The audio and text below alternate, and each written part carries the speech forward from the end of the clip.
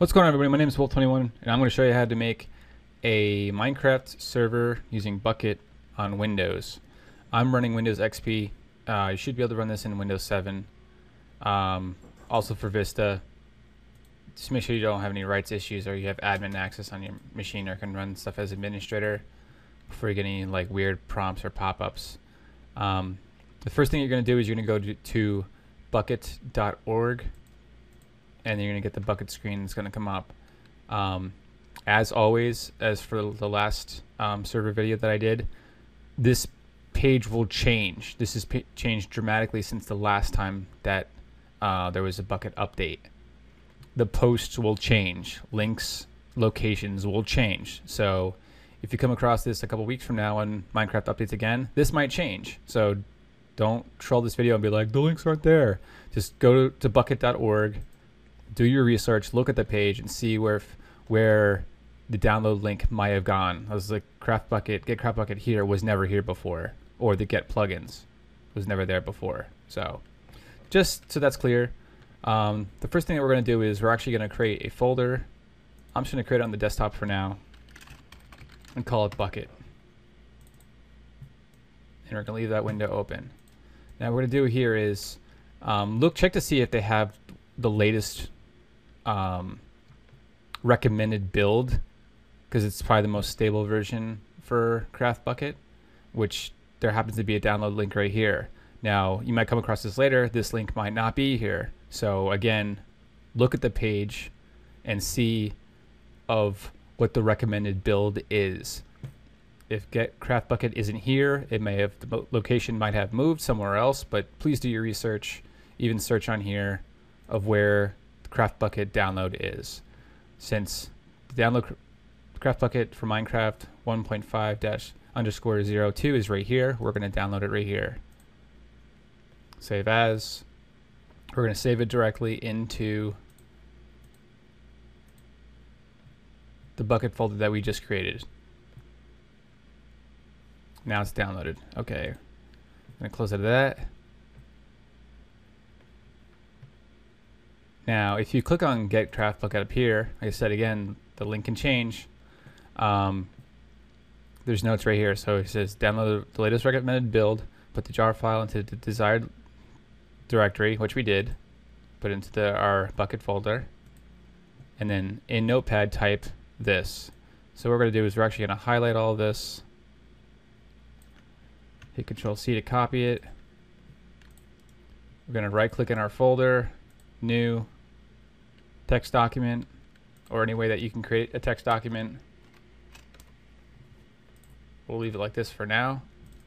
We're going to double click it to open it up. We're going to paste all that text in that we copied from the website. And we're going to save it and we're going to close it.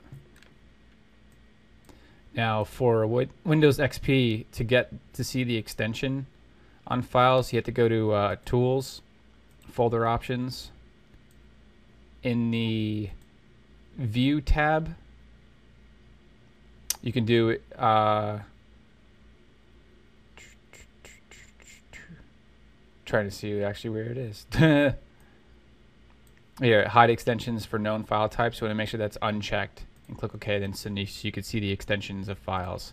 And this one, going back to the directions, it says it's as run.bat, not as a text. So we're going to rename this as run.bat and then yes to confirm. Now it's actually a batch file for executables for within Windows. And then you're done. You just double click and run it.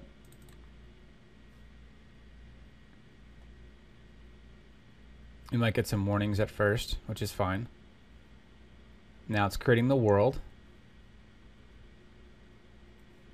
You'll see that the files are being generated.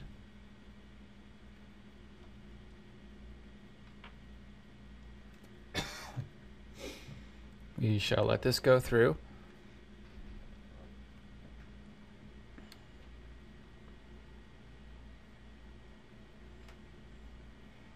And while this is going, what we can do is we can find out what the IP address of this computer is by going down to start run or start search, you should be able to type in CMD for command prompt. It might be something different for Windows 7.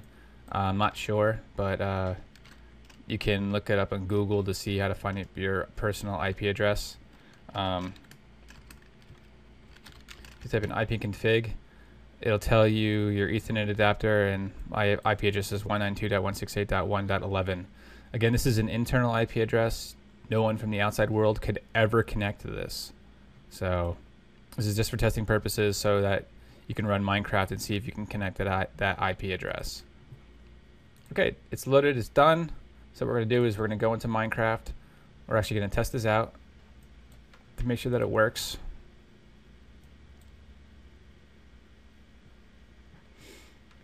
I have the John Smith texture pack on right now. It's pretty cool. Okay, so it's 192.168.1.11. Connect.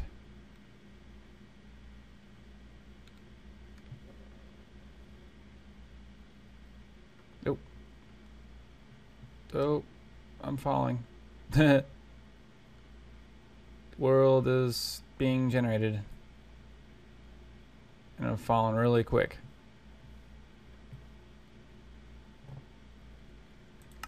All right, simply just went back into the world again after I disconnected, and now the world's up and running. And this is the world that it spawned.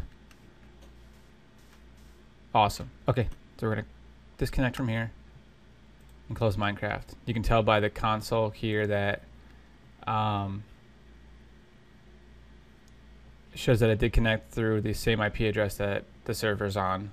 So you could definitely test to see if the server is actually up and running. And now when you go to the Bukkit folder where you had copied the CraftBukkit file, you're going to see the world that it generated, banned IPs, banned players, some YML files, ops, server logs, server properties, which is going to be important, whitelist, and plugins. Now your server properties file is going to contain all the information about your server that you can tweak. Uh, didn't want to do that. I want to right click choose open. So the program from list. I want to do notepad. Don't want to always open that with notepad. Okay, here we go. So this is where you get to name the world. Hello world is false. The, this is where you can choose to spawn monsters. You can choose to spawn, spawn monsters or not. Online mode, spawn animals, max players server IP. This is the IP address of, it, of your server. So in this instance, it's 192.168.1.11, or depending on whatever your IP address is. PvP to be true or false. If it's true, then you can kill each other. If it's false, then you can't. If you want a specific seed for the world, the port, the default port is 25565. Allow flight which means if for some reason if you get stuck on a fence, if I'm not sure if they fixed it yet, um, it's considered that you're being that you're flying in Minecraft, and you'll actually get disconnected. Whitelist. So this is important. You want this to be true if your your server is going to be host is going to be uh, uh, on the internet for your friends to join, and the spawn protection is 16. So since we're going to change the whitelist to true, we're actually going to close this. Save. Exit.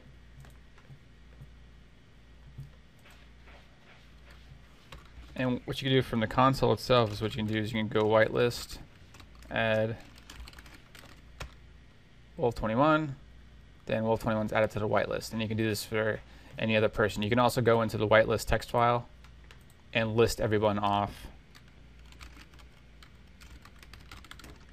right down the line.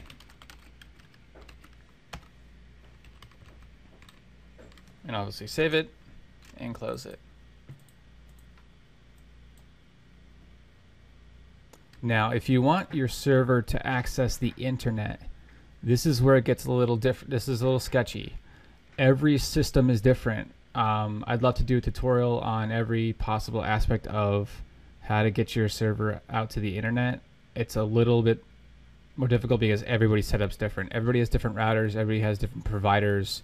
You could have satellite. You could have cable. You could have fiber. You could have a dial-up. Your modem could be directly connected to your computer. You can have a router, which then you have to go into your router and and forward the port. The most important thing is that you have, as long as you, if you don't have a firewall, which technically you should, you have to forward the port 25565, which is the default port for Minecraft, and forward it to whatever your IP address is of, of your system. If you do not do that, people will not be able to connect to your system from the outside world.